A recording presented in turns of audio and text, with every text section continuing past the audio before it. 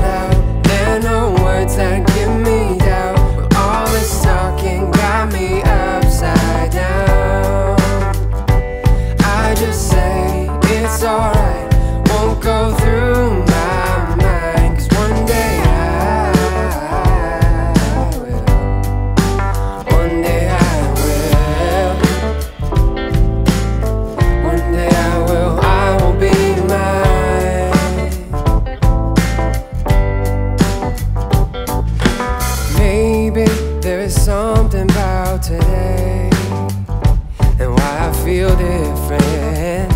All the same. And what I need, know what I need to feel alive again. To never be in between every day I believe. No I can't be on the side no more. I can't.